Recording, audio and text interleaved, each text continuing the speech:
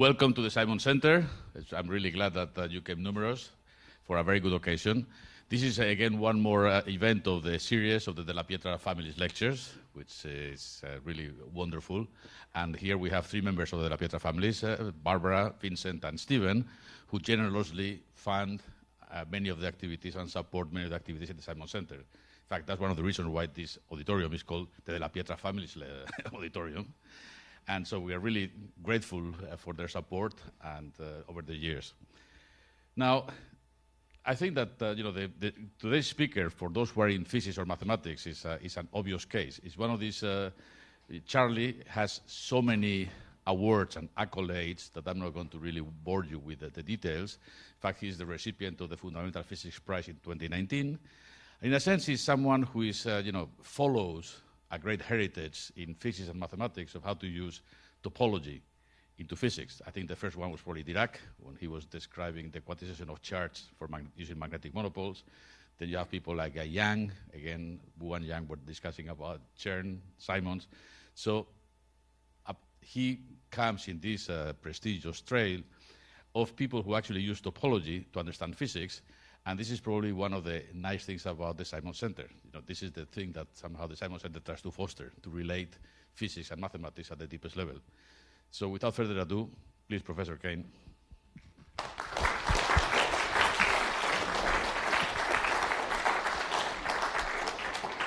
Okay, well, thank you very much, Luis. That was uh, a very kind, very kind introduction. Um, and it's really, um, it's really a pleasure to be visiting the Simons Center. I've been here um, all week, and uh, you know, I'm having a wonderful, a wonderful time. This is a wonderful place. So again, you do wonderful things here. So uh, I'd like to congratulate you all for that. And um, is I want to tell you about some of the really amazing things that matter can do. Okay, and uh, you know, matter is what everything is made out of uh, can arrange itself in the most ingenious ways. And so, what I'm going to be talking about mostly uh, today um, are sort of electronic properties of matter and, and electronic materials. Um, and uh, so, to sort of start off talking about electronic materials, I'm going to go all the way back to the very beginning um, and um, uh, introduce uh, Benjamin Franklin.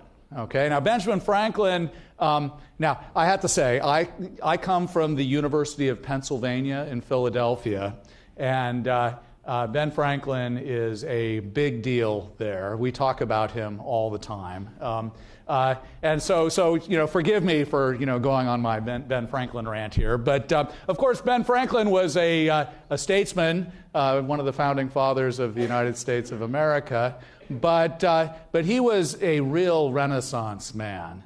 Um, so, in addition, in addition uh, to this, he was um, uh, a very accomplished uh, scientist.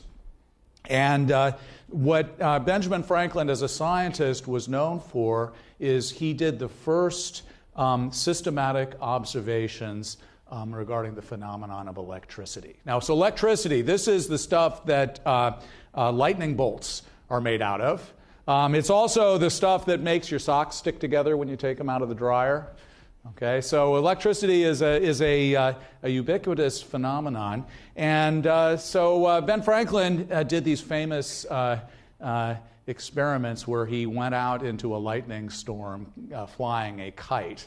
Now, um, I, my advice is to not do that. Um, it's, it's, it's amazing he didn't kill himself. But um, uh, what he discovered is something truly amazing about the building blocks for matter of matter that, that, that, that, that we have in this, in, this, in this world. So, what he discovered is that there is uh, that matter has an attribute called electric charge. Okay, and, and he realized that electric charge could be either positive or it could be negative and that uh, like charges push each other apart, and, and opposite charges, plus and minus charges, attract each other. Okay? And, um, and so this realization is something very fundamental about the world we live in. Um, but he realized something else that um, uh, there are basically two different kinds of, um, of materials. There are materials that we call conductors that allow electric charge to flow sort of the way that water flows in a pipe. and there are materials that are insulators that don't allow electric charge to flow. Okay, and so there's a fundamental uh, a dichotomy between these two different kinds of materials. Okay, and so this is a very fundamental, deep thing that he, he understood. But, but I want to make a point that you know Ben Franklin, um, in addition to you know, uh, you know discovering deep, deep fundamental things, he was also a very practical man. And so he realized that by making this discovery, um, he could do something really useful. Okay, and in fact, discovering this allowed him to invent one of the most imp- important technologies of his day, which was the lightning rod. Okay, and sort of, of course, a lightning rod is the way that you can prevent your house from burning down in a lightning storm. Um, you know, so uh, you know, by having an electrical conductor uh, sort of short the short the electricity from the lightning bolt uh, outside your house. Okay, and so uh, so this to me sort of epitomizes. You know, so Ben Franklin epitomizes to me what what is best about science. Okay, it can be fundamental, it can be beautiful but it is also useful. Okay, and so this this uh, you know um, uh, interplay between being useful and being fundamental and beautiful is sort of what has driven the discoveries that have had that, have, that, that we have had in our understanding of what matter is made out of um, and how it fits together. Um, and, and boy, what a ride we've been on on the last 250 years. Okay, um, uh, um, you know, our understanding of what, of what matter is and what it, it, it can do has, is, is, it's amazing. Okay, so think of it, you know, uh, uh, fast forward 250 years to the present day, and uh, it's amazing what electronic materials can do. I mean, if you step back and think, it's magic, right? Everybody has a uh, computer, uh, you know, in their pocket, a powerful computer. And, uh, you know, it, it it's amazing that this is possible. The reason it is possible is because um, uh, we have uh, our ability to uh, understand and control the electronic structure of matter. Okay? And this deep understanding forms the foundation for all of these technologies that um, we've grown accustomed to in today's information age. Okay? And so, what I'd like to describe to you today is the fact that you know, our understanding of um, the electronic, the, the possibilities of what matter can do is continuing to evolve. Okay, and, and there are new uh, principles that are emerging um, that uh, can form the foundations for new kinds of technologies for the coming century. Okay, and so I'd like to ex- explain to you some of these new electronic phases of matter, and I'd like to show you what they're useful for, and I'd like to show you that they're actually incredibly cool. Okay, they're incredibly beautiful and and um, uh, something that's really interesting to think about. Okay, and so I hope I can convey that to you uh, during this hour. And so, so I want to talk about phases of matter. So let me just try to describe to you in simple terms what a phase of matter is. I mean, so so the most familiar phases of matter um, are the liquid and solid phases. So water. Um, uh, you, you, know, can either be a liquid if it's if it's uh, you know uh, uh you know liquid, or if it freezes, it can be a solid. Okay? And there's something very amazing about this because, you know, uh, uh, water is made out of pretty simple building blocks. Okay? Basically, water molecules, they're all kind of the same. But if you have lots and lots of water molecules, they can do, they can have completely different kinds of behaviors. Okay? They can, they can either be a, a liquid that can flow or they can be a solid that's rigid. Okay? And, and so just knowing what the the, um, the building blocks are, that's only part of the story. Um, what's interesting is what happens when you have many, many of those building blocks and what their collective behavior, what kind of collective behavior emerges out of that, whether it could be a liquid or it could be a solid. It doesn't make sense to talk about a single water molecule as being liquid or solid. Okay, it only happens when you have many, many of them. Okay? Now, likewise, we can talk about the, uh, the liquid and solid phase of water. We can also talk about the, uh, the conducting and insulating phases of materials. So, so, um, uh, so if you have a copper wire, a copper wire is an electrical conductor, and so that's one kind of uh, phase, electronic phase of matter. And the insulator that surrounds it, you know, it's surrounded by some you know, rubber insulator, and that does not conduct electricity, and so that's a distinct electronic phase of matter. Okay, and so, so uh, I want to be thinking about these kinds of uh, electronic phases and show you that um, uh, you know uh, some very interesting ideas about that have emerged in the last uh, few decades. Okay. So, um, uh, so in order to get started with this, what I want to do is I want to first describe a little bit what the fundamental building blocks of matter are. Okay, so and uh, and so this is the physics that um, that came into focus in the early part of the 20th century. Okay, around the turn of the century, um, this was when there was a, a, revolution in our understanding of um, the structure of matter. And what emerged from that revolution is that uh, matter is composed of fundamental particles. Um, and the most important fundamental particles for, this, uh, for these purposes are the electron, the proton, and the neutron. And the important thing is that the electron and the proton um, have an electric charge, plus and minus uh, E. Okay? Um, and the, the, there's something very deep and important here. Every electron has exactly the same charge as every other electron. Okay, and so, so what, the, what we say is that electric charge is quantized. Okay, it comes in discrete units, which is the charge with which is the charge of the electron, and the proton has exactly the opposite uh, charge. Okay, and um, so uh, so so this discreteness of electric charge is one of the most basic features um, of matter that we have. Okay. Um, uh, actually, there, there's a little bit of a funny story about this. Um, you know, so I told you Benjamin Franklin, um, uh, he discovered charge. And so he was the one who got to decide uh, which one was the positive and which one was the negative. Okay? Fortunate choice he possibly could have made, okay? Because the choice he made uh, made it so that the electron has the negative charge. Okay? And this fact is a source of endless confusion for introductory physics students who are trying to solve problems when they realize that an electric current goes this way, but the electric electrons are going this way. Okay, and so uh, so that's a problem. Um, but we're stuck with we're stuck with Benjamin Franklin's minus sign, and we have to just uh, sort of make do with that. So, um, so now, of course, uh, electrons and protons and neutrons they arrange themselves into atoms.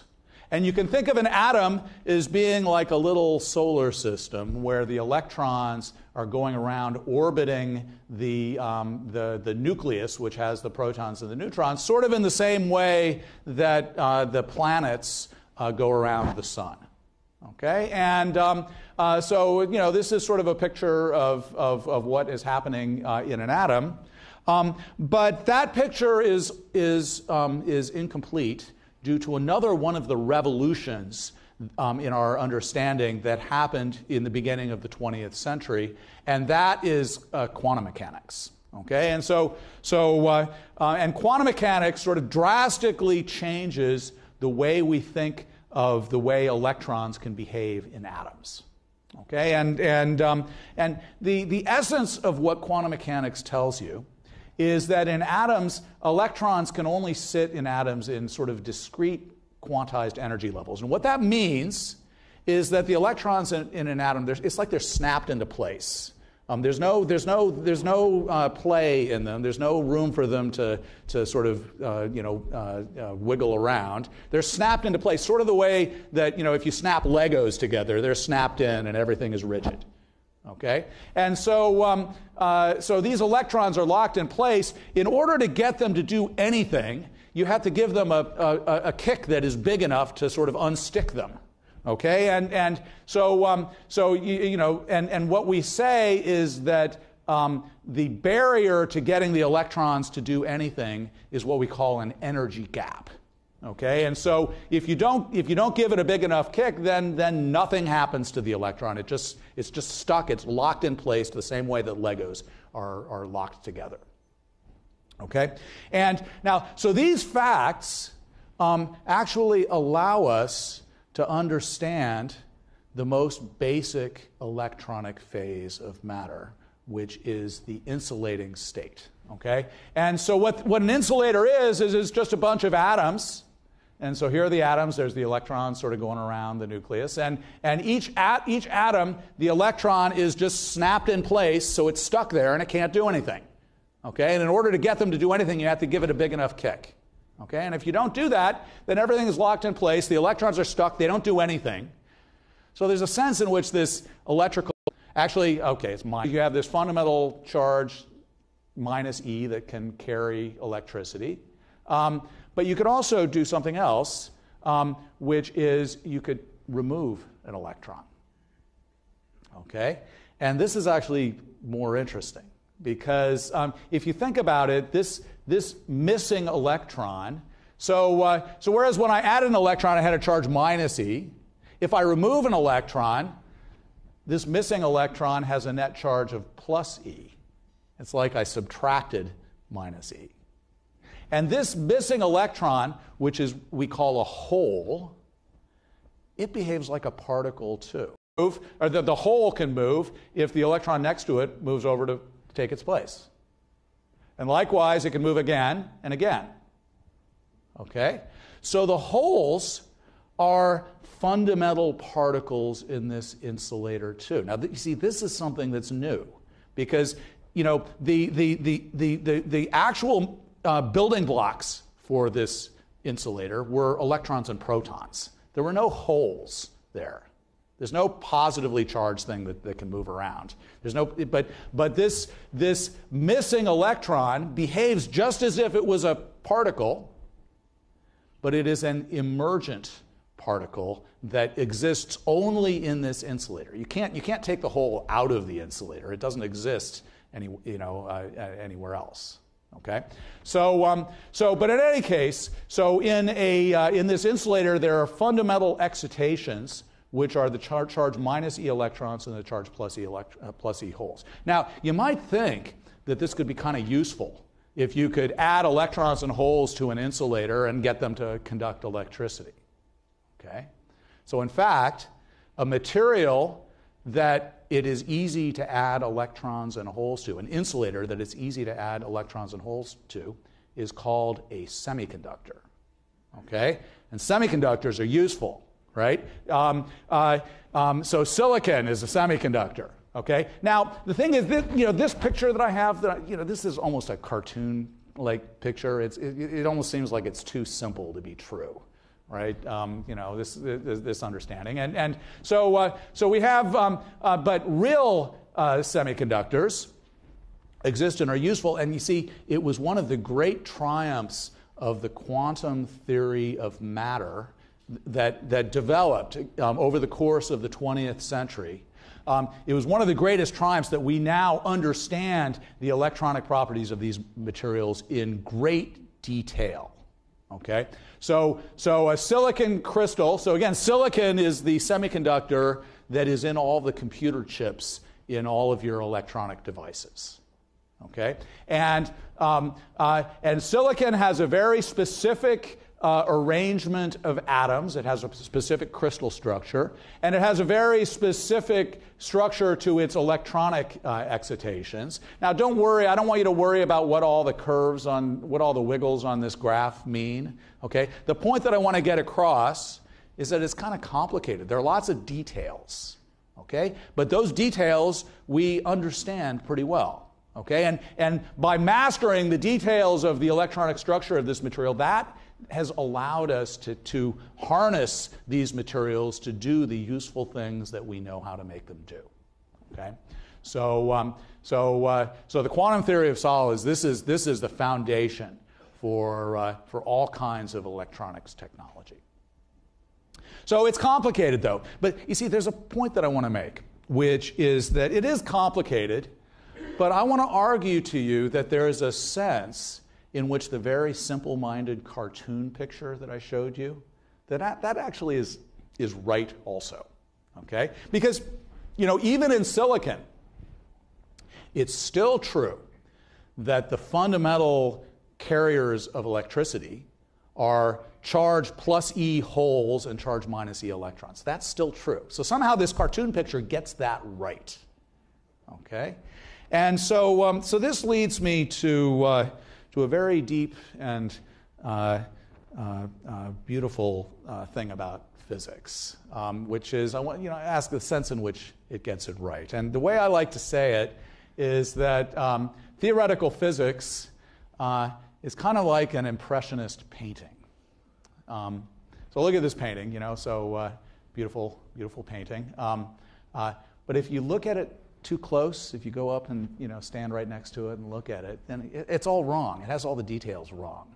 It's not. It's not a. It's not a uh, you know faithful representation of what's actually of, of reality, right? Um, uh, so so it gets all the details wrong. But if you step back from it and look at it, and you step back, then there's a sense in which it really does get it right. Okay, it gets something right. Okay, and I'd like to argue to you that theoretical physics is kind of the same way. Okay, so in theoretical physics, we can describe simple models. In detail, they're not, they're not right. But there's a show you that, um, you know, uh, uh, uh, understanding the sense in which it gets it right is a deeply aesthetic uh, experience. Okay, and I'd like to try to try to share that uh, with you uh, a little bit. Okay, and so um, in order to explain the sense in which this cartoon picture you know, gets, gets the, the essence of the insulating state uh, right, um, I want to introduce a very deep uh, concept, which is the concept of topology. So, topology is a, uh, a, a, beautiful branch of mathematics. Okay? And, and, and what topology is concerned with is it's concerned with the study of objects that can be continuously deformed. Okay, so the, what I want you to have in your mind is think of a piece of clay, right? A piece of clay, you can squeeze it and mold it and stretch it, and, um, uh, and, and it, its shape can change continuously. Okay? And um, so, what uh, topologists uh, are interested in is they're interested in what kinds of shapes can you smoothly deform into one another. And the idea is, is that objects are called topologically equivalent if they can be continuously deformed into one another. Okay, and so the classic example um, for thinking about this is to think about the sense in which a coffee cup is the same as a donut. So this is obviously a coffee cup, and this is obviously a donut. Okay, but you know, if they were made out of clay, you could imagine you know going through a series of steps where I just change it a little bit each time Okay, and, and I could imagine, you know, very little happens at each step along the way. I can imagine doing it continuously, and, and uh, at the end of the day, I've turned the coffee cup into a donut. Okay, so you can sort of see the whole, the, the, the handle of the coffee cup uh, has turned into the whole of the donut. Okay, and so, so a topologist would say that a coffee cup and a donut are the same. Okay? So, um, but, but that doesn't mean that everything is the same. Okay? So if you think about, instead of a donut and coffee cup, you think about a sphere, the surface of this orange. Okay? So you could continuously deform that. You could step on it and turn it into a pancake. Okay? But you can't turn it into a donut without poking a hole in it. And that's something, that's a drastic change, right? You, you can't poke a hole continue smoothly right? Because you have to go from not having the hole to having the hole instantaneously. And that's a, that's a, um, uh, you know, uh, a drastic change. Okay? And so, um, so the, the sphere and the donut are different. And so what mathematicians like to do is they like to come up with a simple characterization that tells you whether things are the same or whether they're different. And so, uh, you know, for the, for the sphere and the donut and the coffee cup, what you basically can do is you can say, well, there is what is called a topological invariant, um, which is an integer. It's a number, you know, one, two, three, four, that counts the number of holes, basically. And we call this the genus. Okay? And, and, and this integer, uh, uh, you know, uh, cannot change continuously. Okay? It has to change, uh, you know, abruptly. Okay? So, um, so this, is, this is the idea of topology. And so you can ask the question, what does this have to do with, you know, this sort of seems like sort of abstract, you know, mathematical thing, you know, but what does it have to do with, uh, you know, electronic uh, phases of matter? So, but what I'd like to argue to you is that the sense in which um, this cartoon picture of an insulator and the real picture of you know, the electronic structure of silicon, the sense in which the cartoon gets it right is in this sense of topology. Okay, um, uh, and and so uh, the uh, uh so what I want to state is that um, I can consider insulators to be topologically equivalent if I can deform one into another, keeping it an insulator the whole time okay? If i can smoothly deform one into another. And so so if i start with you know this complicated in silicon this complicated insulator i can imagine sort of smoothly sort of pulling the atoms apart um, very slowly and smoothly um, and making them get further and further apart. And when, they're, when they get much further apart then it's going to be much more like this uh, sort of atomic independent uh, uh, atoms okay? And so i can smoothly go from this to this and, and so there's a sense in which these two are the same Okay? And the whole way, along the whole way, the fundamental excitations are charge E uh, holes and charge minus E electrons. That stays the same. so, um, uh, so you know, uh, uh, so so you know, so silicon is is complicated, and this cartoon picture is simple. Okay, so it's sort of like uh, if I think in terms of surfaces, you know, the um, the sphere is the simplest uh, surface that doesn't have any holes in it. Okay, it's very simple and, and very beautiful. Okay? Um, but, you know, surfaces don't have to be simple, they can be complicated. So if you look at uh, this is Dave the octopus, and Dave the octopus has a more complicated shape, right? Um, but I don't think he has any holes in him. And so uh, uh, um, uh, his genus is zero as well. Okay, so Dave the octopus is topologically the same as the sphere. He's much more complicated. Okay? But, you know, maybe there are some things that are easier to think about for the sphere. Okay? And that can uh, allow us to, uh, to get a deeper understanding of the more complicated shapes. Okay? Now, um, now uh, uh, uh most insulators are kind of like the trivial insulator. So it's, so it's, so it's as if, you know, so, so, so silicon is the more complicated case, but it's the same as the trivial insulator. But when you draw the picture like this, then this poses a very interesting question, okay, which is um, uh, uh, is there an analog of the donut? Okay? So, are there topological insulators that are not equivalent to the trivial insulator? So, in pictures, is there an analog of the donut or the coffee cup? Okay?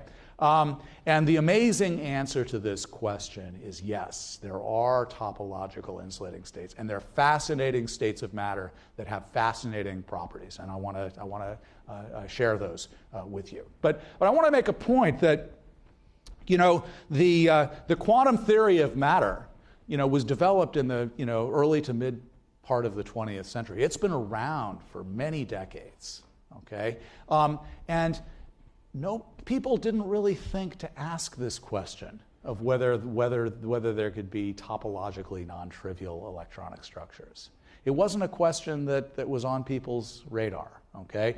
But in the last you know few decades this has been something which has, has emerged as an interesting idea. And once you once you ask the question then that leads you down a path of discovery where there are just amazing things uh, that we've uh, that we've learned okay? And so i want to teach you about some of these amazing things. So so in order to introduce you to topological insulators i want to give you the i always like to come up with the simplest um, uh, you know, uh, uh, example of a phenomenon that's simple enough that maybe you can get, get your head around uh, what's going on. And the simplest version of topological uh, insulating states that I can come up with is in a, a one dimensional polymer. Okay, so what a polymer is, is it is a um, it's like a chain of atoms, a one dimensional chain of atoms. So these black dots are carbon atoms, and they're sort of, you know, sort of a one dimensional chain of, lots of uh, carbon atoms uh, arranged along a line.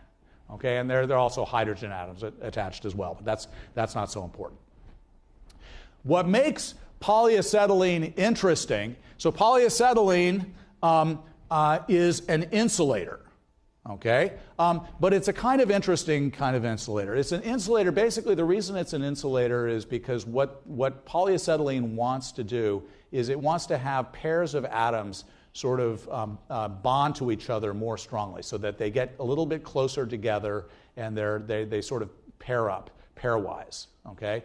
And, um, and by doing that, that makes polyacetylene an insulator. Okay? The thing that's interesting about this insulator is that there are two ways that you can do it.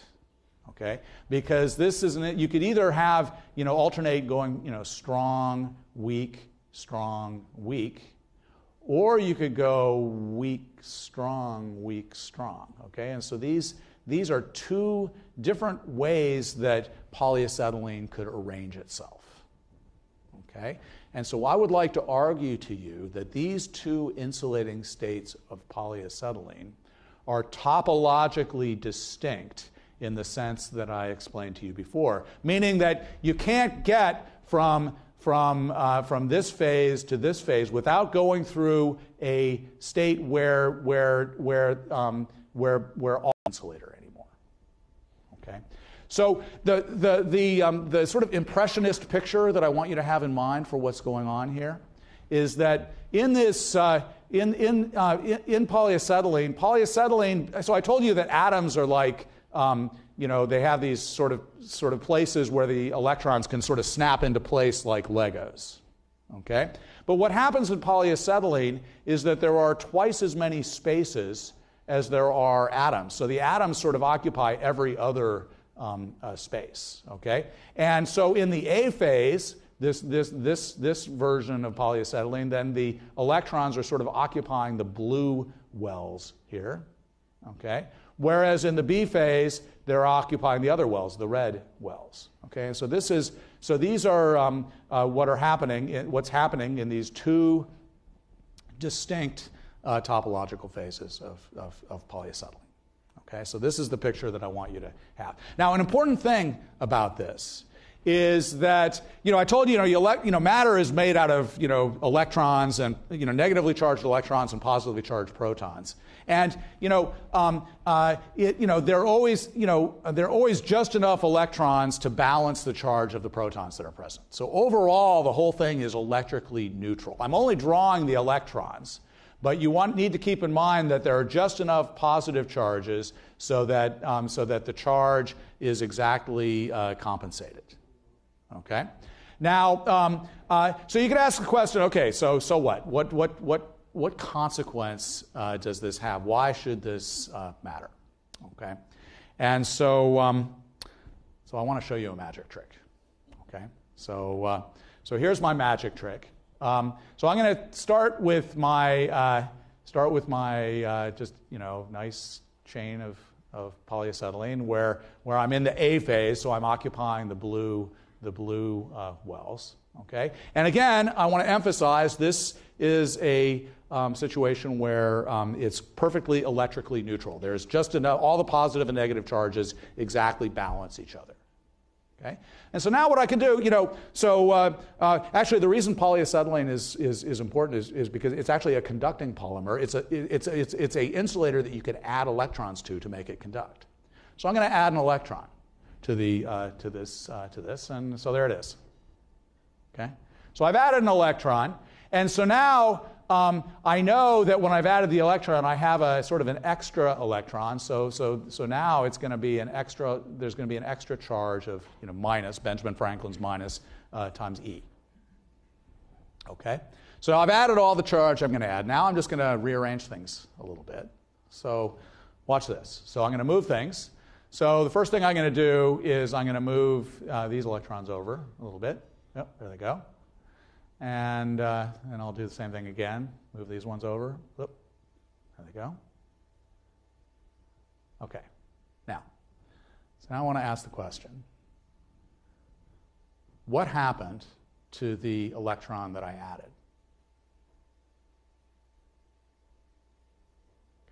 Now, okay, I know there's probably wise guy in the audience that's going to say it's, it's, it's right there. Okay. Yeah, you're right. Okay? But, but think about this. You see, um, in the middle here, I told you that when I'm occupying every other space, I have just enough electrons to compensate the positive charges. Everything is electrically neutral. So there's no charge in the middle here. I can move, you know, I could keep doing this and move, move it further and further apart.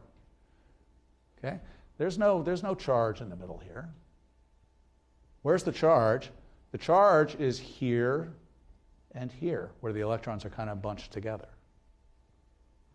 Okay? So what's happened to the electron that I added? The, elect, the, the, the electron that I added has split in half. Okay? Now, it's important, you know, so, so, you know, over here it looks exactly the same as it looks over here. Okay, and I know I only have one extra electron. So it's got to be, the charge of this thing has got to be exactly E over 2.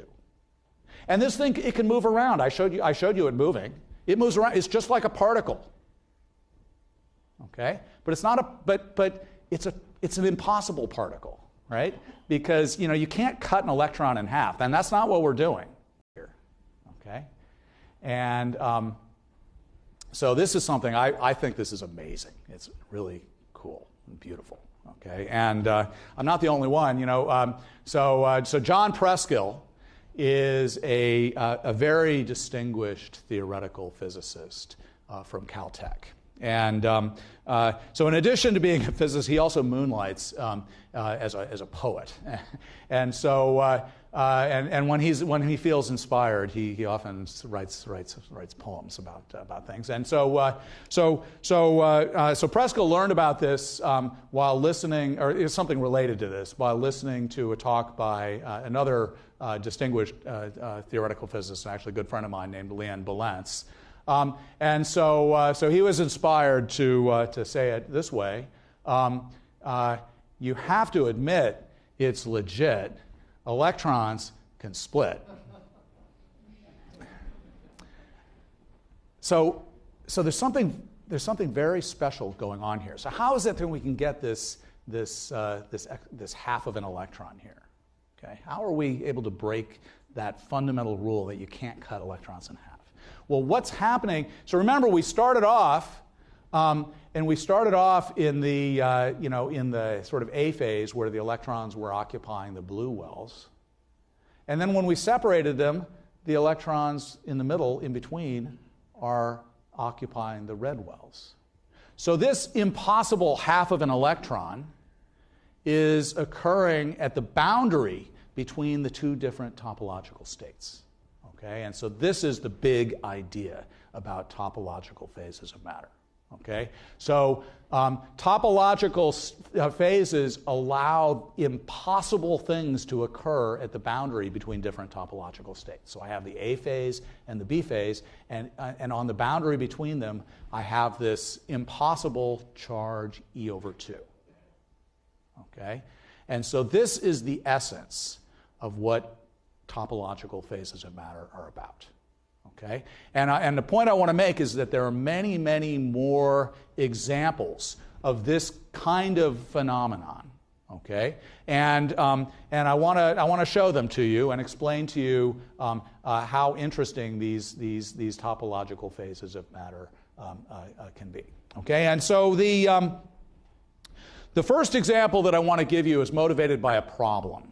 Okay? And the problem is um, uh, you know, in electrical conductors, um, you know, the flow of electrons in electrical conductors is actually kind of disorganized. Okay, the electrons are kind of bouncing around. It's sort of like you know, you go to the theater and you come out after after the show's over, and and there's a huge crowd out in the street, and you're bouncing into people trying to get to the subway, you know, and and you, are having a hard time getting where you're going, and you know. Um, uh, that's sort of how electrons feel when they're trying to flow in an electrical conductor. Okay, and so think about, and, and this is a problem that gets worse and worse the smaller and smaller you try to make your little electrical conductors. Okay, and so this is the problem, you know, in, you know, for the, you know, so in your electronic devices in your pocket, there are all kinds of little wires connecting, you know, that electrons are trying to flow down. And, um, and it's a real problem that uh, the smaller you make it, this problem of, of, of, of, having the electrons be too crowded and have trouble getting where they're going, that problem gets worse and worse. Okay? So, is there any solution to this problem? And so, what I'd like to do is take a cue from uh, how you would think about uh, organizing traffic. You know, and, and uh, one way of making things flow more smoothly is to introduce a divided highway for your, um, for your electrons.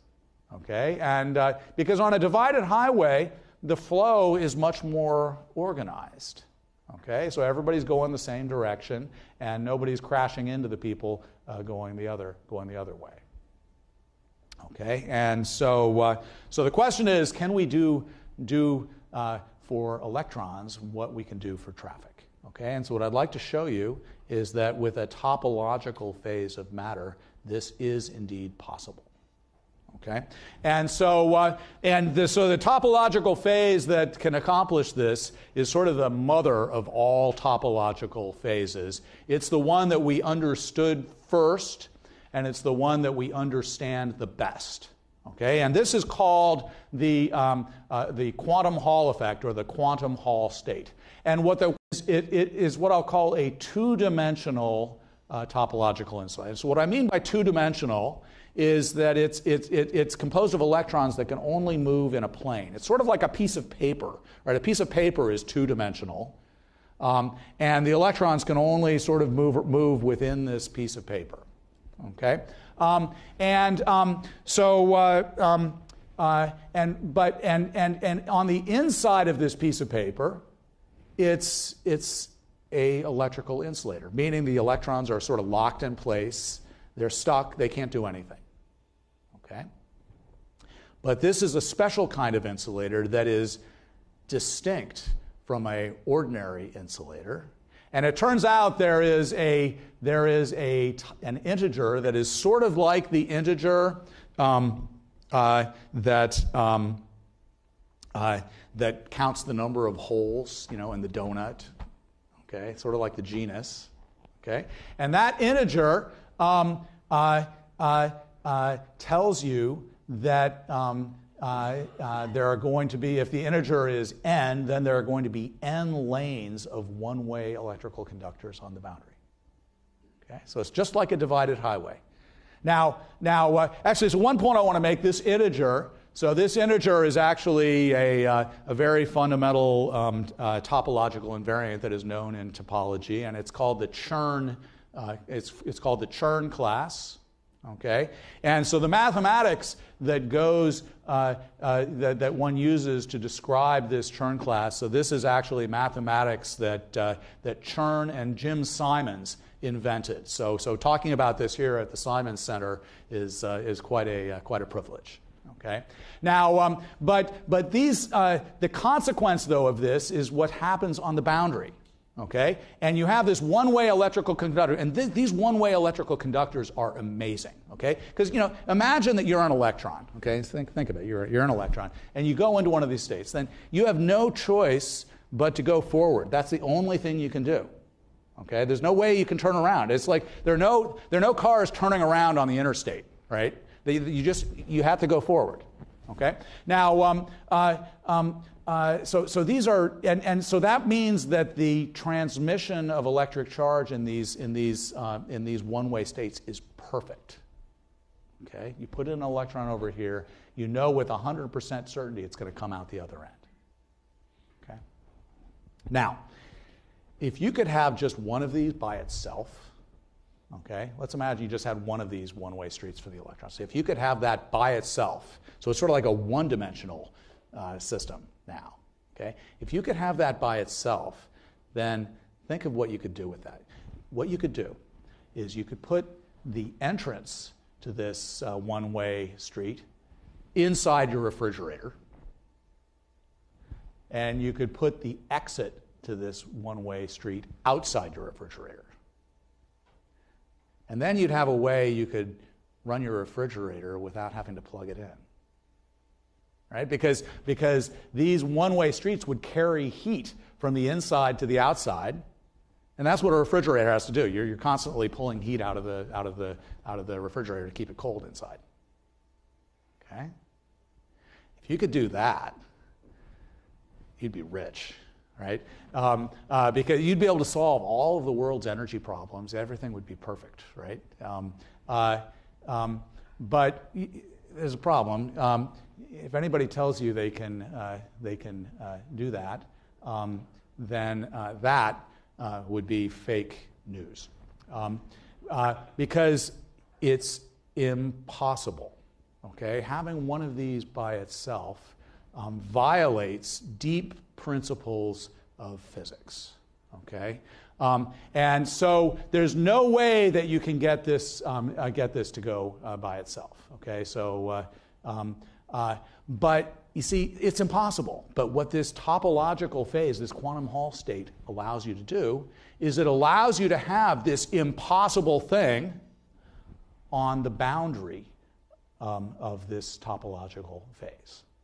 Okay, and um, and that means that you know, in addition to being impossible, once you have it, you could peel it off. Then you'd have it by itself, and then you'd be rich, right? So there's a so so uh, um, so so once you have it here, it has to be there. You can't get it's topologically protected.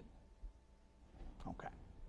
So um, now I'm telling this story a little bit backwards.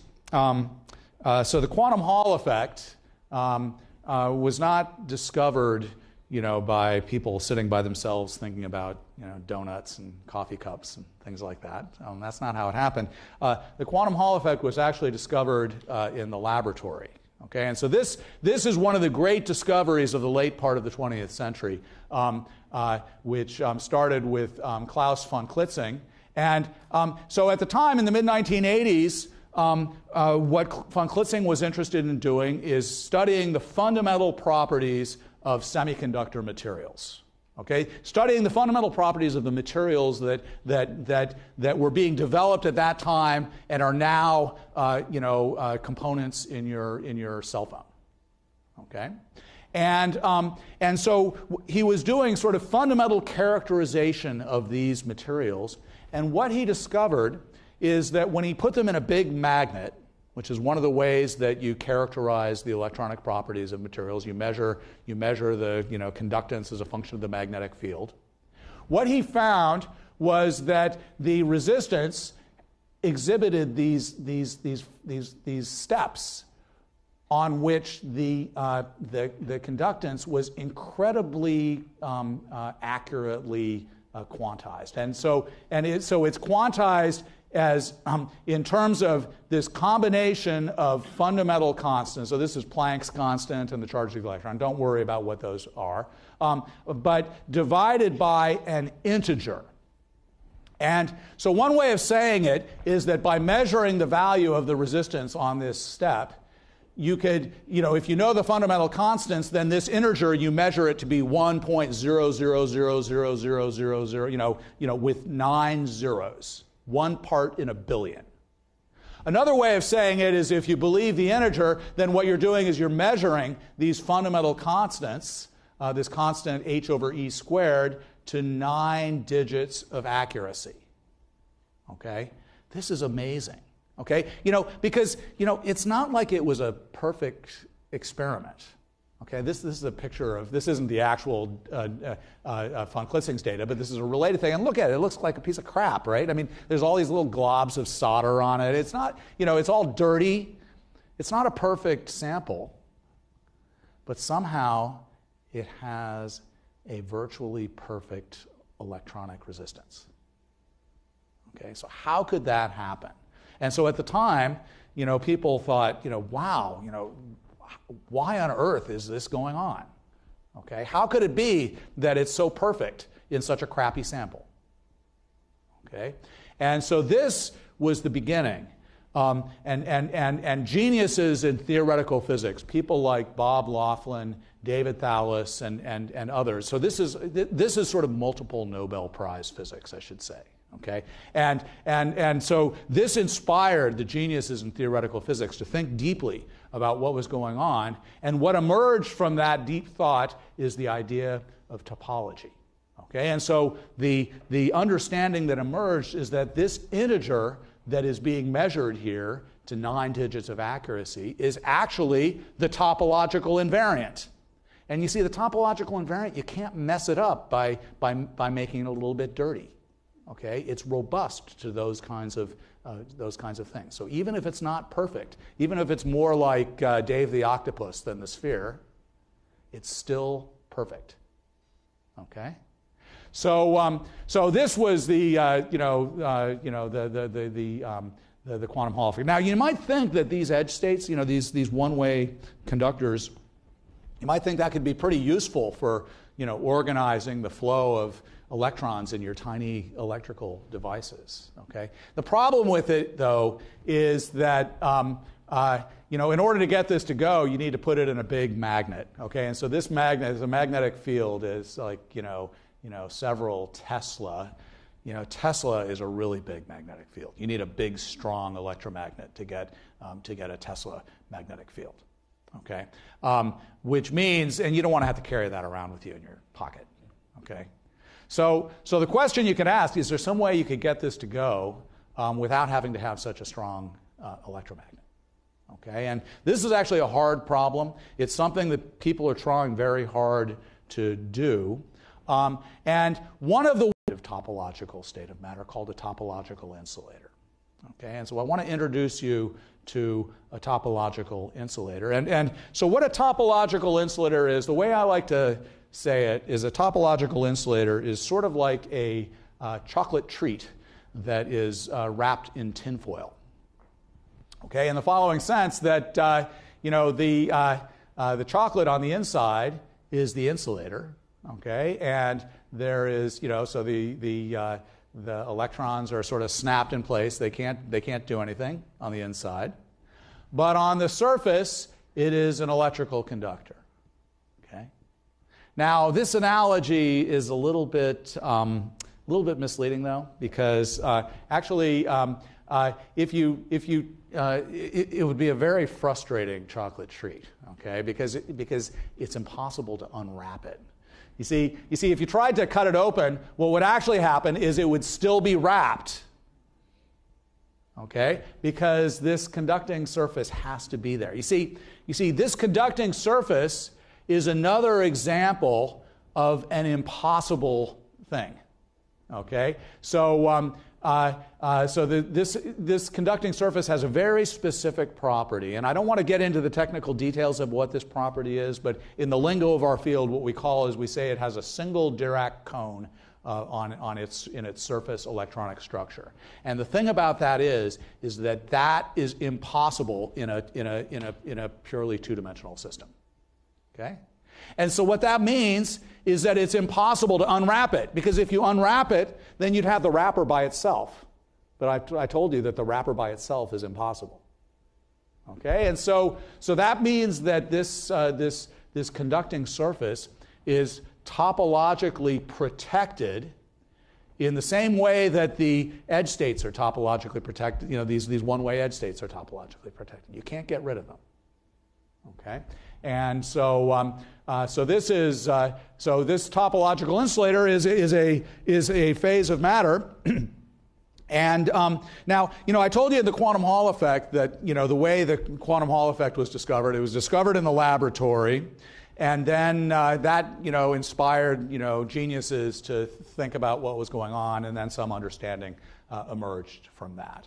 Now, the story of topological insulators is actually a little bit different. Um, uh, so topological insulators were actually uh, discovered by thinking about it.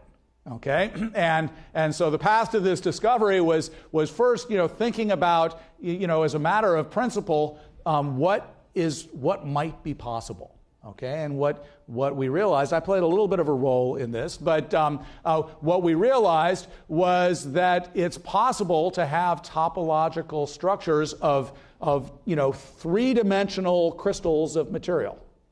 Okay, and and and um, and and it was it became possible to predict specific three dimensional crystals that should exhibit this effect. Okay, and so so we started with uh, you know it started with some theoretical prediction. Now, if that's all we had done, then it would have been kind of interesting. Okay, but not that interesting. What made it really interesting, though, was that the whole thing came to life in the real world. Okay, and so what was required for that was it was required to actually make the materials. Okay, um, so you can grow high quality crystals of this material. The best one of the best ones is a material called bismuth selenide. So it's a crystal composed of bismuth and selenium atoms arranged in a particular crystal structure that they like to go into, and it has a particular electronic structure which um, uh, which we can deduce is topologically non-trivial. Okay? And so the prediction then is that this crystal of bismuth selenide should be an insulator on the inside, but be this special kind of conductor on the outside. So then, once you have the crystal, you have to have a way of, of, of telling what you have. Okay? And so basically, what people did is they learned how to take a kind of a fancy picture of the surface of, of, of this crystal. And the, the, the, the, method that they use is a, is a method called uh, photoemission spectroscopy. But it's basically what that is, is taking a fancy picture of the surface that tells you about what the electronic structure of the surface is. And so this is what that experiment showed. And what, I'll just tell you that what, what is shown here um, sort of uh, uh, is exactly the single Dirac cone that, uh, that is, the, is the defining characteristic of this, uh, of this impossible surface state. Okay, and so this is something that really um, happens in the, uh, in the real world. Okay, so these are topological insulators. Now, um, before I finish, I want to introduce you to one more uh, uh, kind of topological phase, one more version of splitting the indivisible. Okay, and uh, um, uh, in order to introduce this, I want to again motivate it by a problem. Okay, and the problem uh, I want to motivate is the problem of uh, making a quantum computer. Okay, now making a quantum computer is one of the grand technological challenges for our era. Okay, I don't know if it's going to be possible in this century. It might be. Um, one of the things I've learned is not to be too pessimistic um, uh, because things come up that you don't know are going to happen. Okay? But uh, let me try to explain to you what a quantum computer is and, and why it might be useful. Okay? So, uh, an ordinary computer, you know, the kind of computer you have in your pocket or on your desktop or laptop, whatever, an ordinary computer, um, what that does is it, it, um, it processes classical information. And the classical information are just numbers. Okay?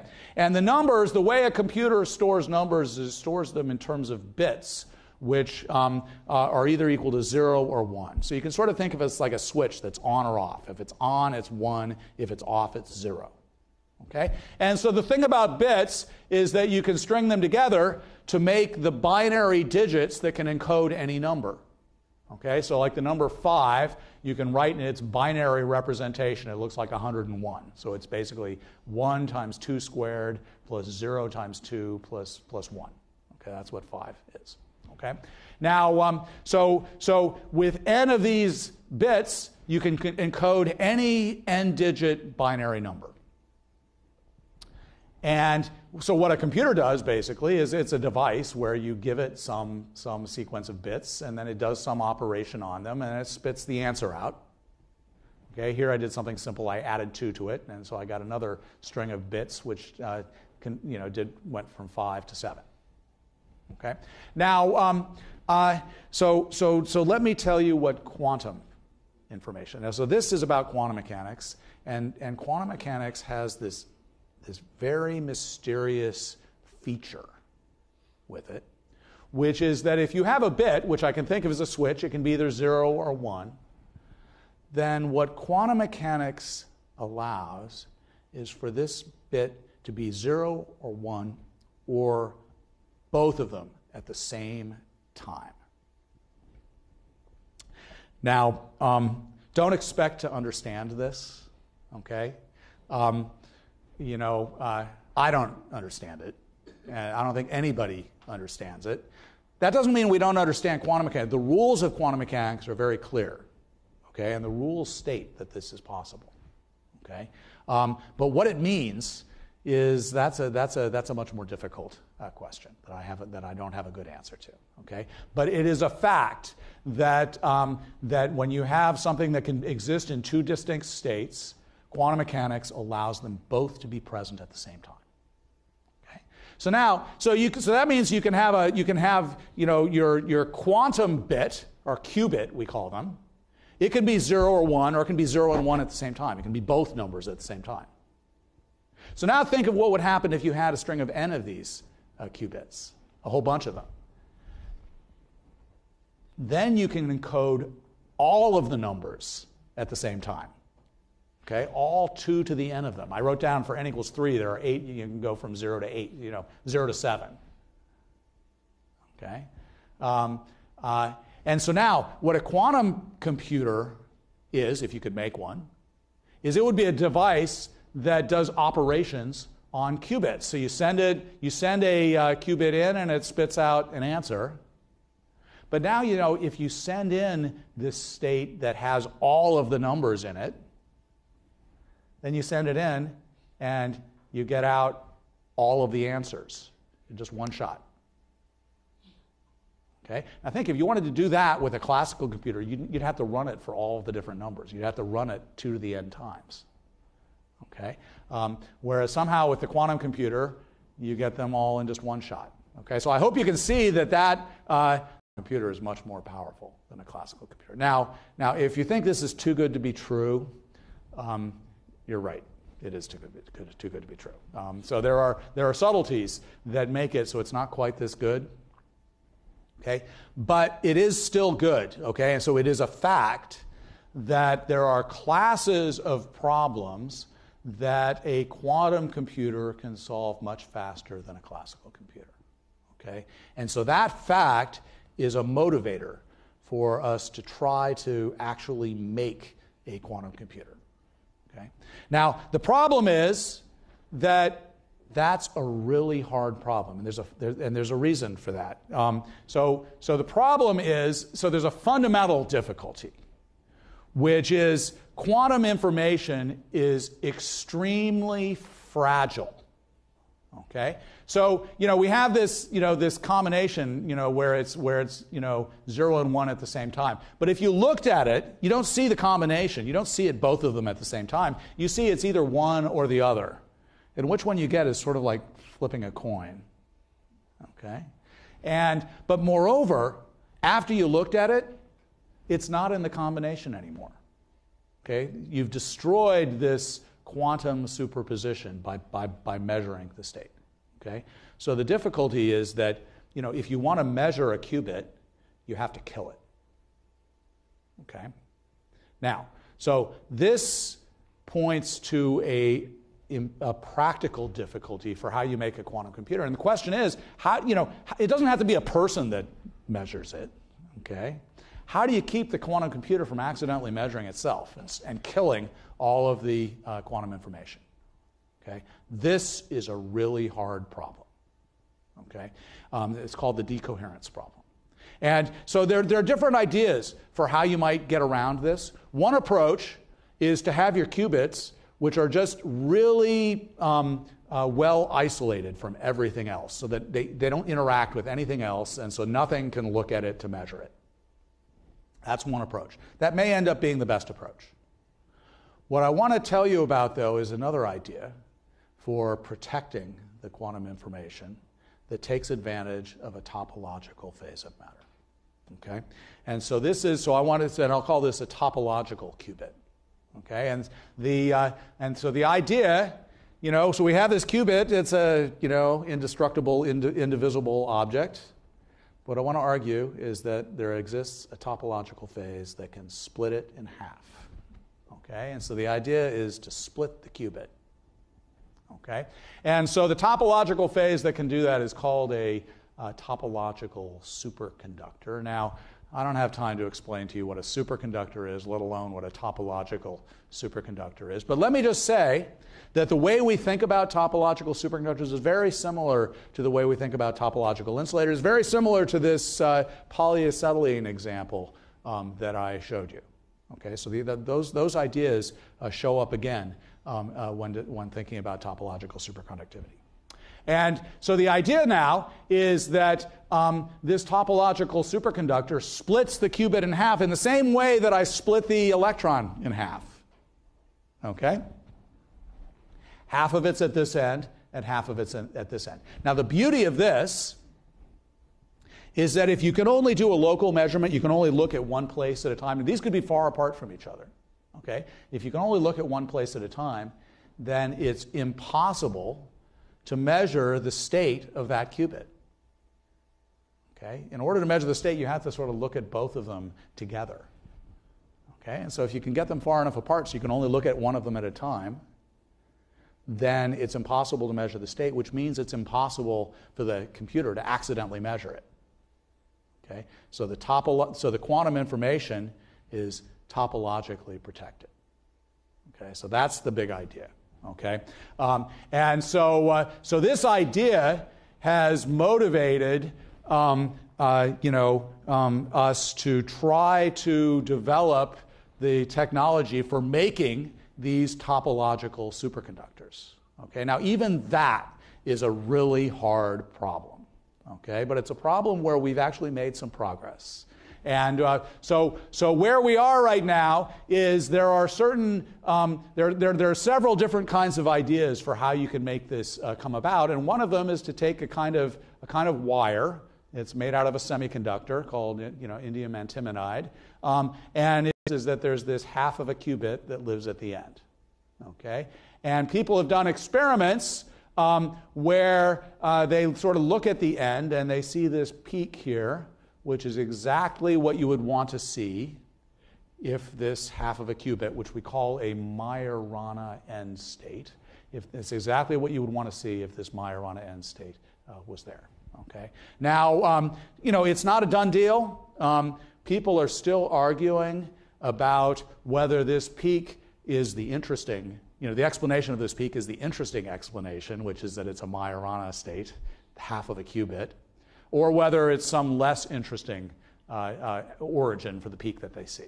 Okay, but this is sort of uh, this experiment has um, has has spawned a whole um, a field of, of, of inquiry, and I think it's looking pretty good. Um, uh, and there are, there are actually many other um, different kinds of systems that people have developed that where they see similar kinds of uh, uh, things. And, and so it's really, um, I think this is very promising.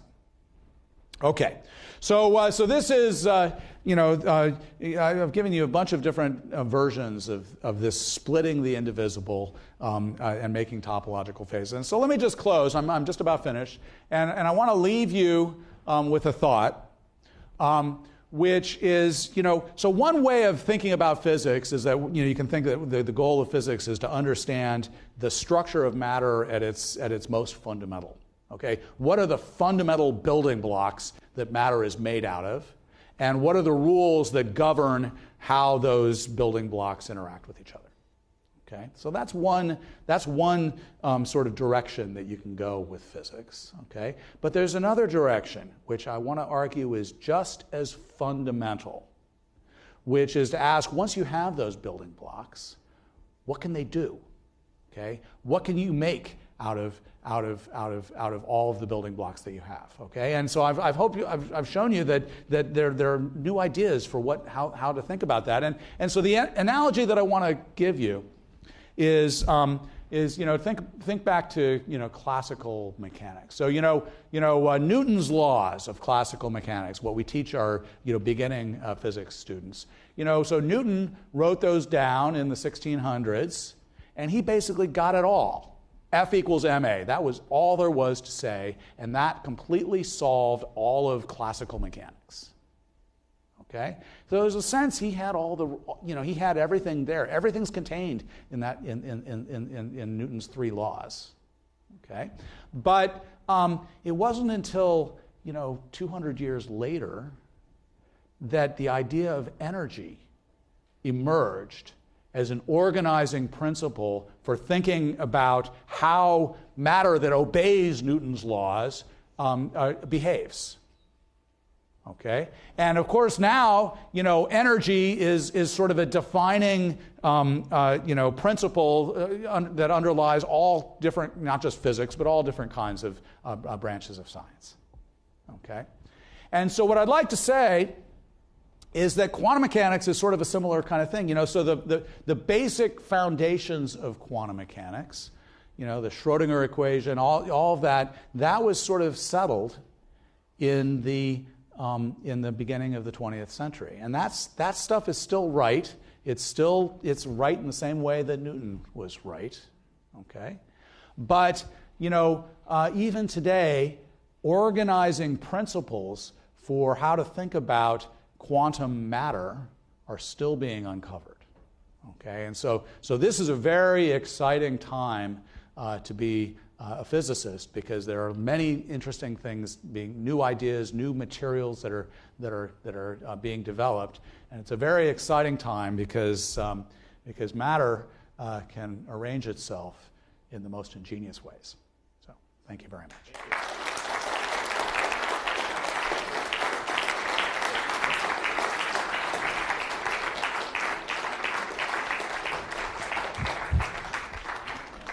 Thank you very much for this very inspiring talk.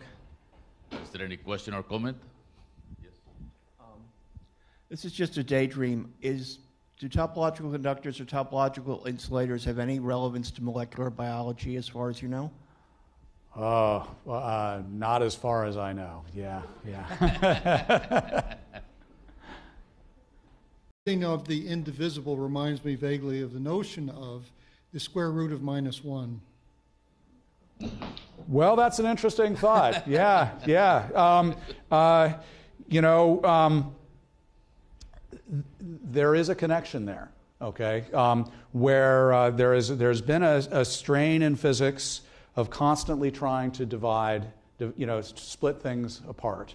And one could say that, um, uh, you know, um, uh, so physicists started with um, uh, you know, so taking square roots of things is sort of like what we're doing. So, so if you start with the, um, uh, the equations that describe um, uh, uh, uh electromagnetism, uh, it's, it's, something called the Klein-Gordon equation. Okay, and one of the famous physicist named Dirac um, was trying to combine um, the theory of quantum mechanics with the theory of relativity. And what he ended up having to do is take this Klein Gordon equation and take the square root of it.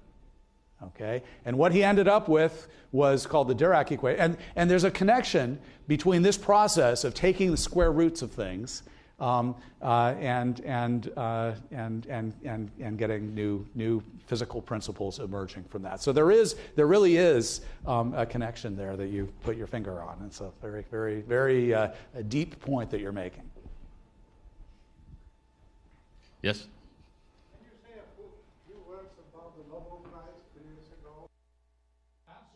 Yes, so the Nobel Prize um, uh, two years ago was given to uh, David Thouless, who, um, who sadly um, uh, just passed away um, a, a, month or so uh, ago, um, and uh, Duncan Haldane and, and, and, David Kosterlitz. And um, so this Nobel Prize was, was, was for work that really uh, laid uh, the theoretical foundations for, for, for, for much of what um, I talked about. In particular, um, this topological invariant that I told you described the quantum Hall effect, this integer which I told you was a Chern number.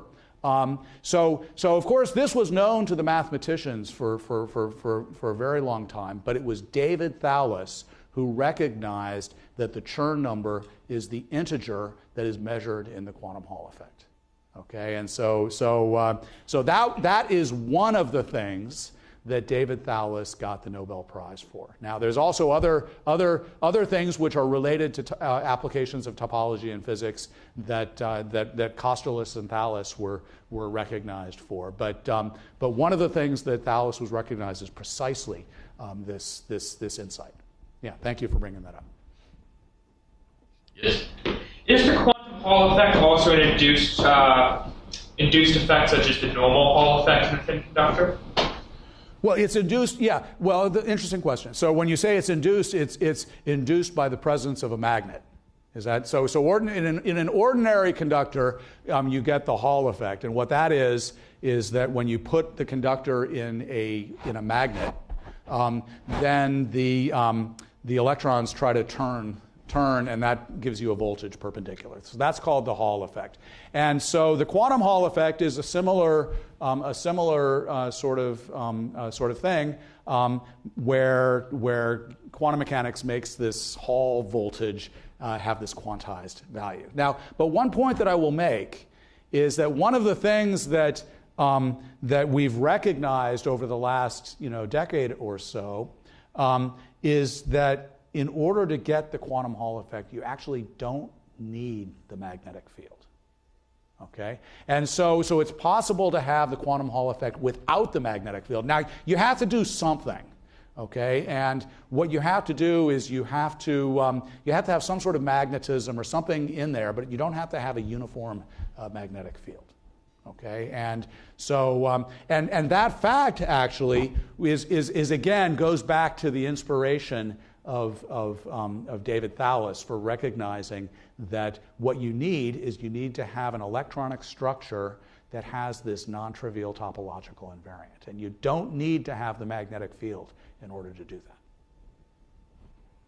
Okay, well, maybe that's the last question. Uh, in your superconducting example at the end, could the Cooper pair be recognized as a qubit? No, actually, um, it's not the Cooper pair that's the qubit, um, uh, but it's related. It's more like half of a Cooper pair. So this uh, this Majorana um, uh, uh state, you see, an ordinary an ordinary superconductor, basically, you can't add single electrons because there's an energy it's, there's an energy barrier to adding single electrons, where, whereas Cooper pairs go in for free. Okay. Now, what the Majorana state allows you to do is it allows you to add a single electron, which is like half of a Cooper pair.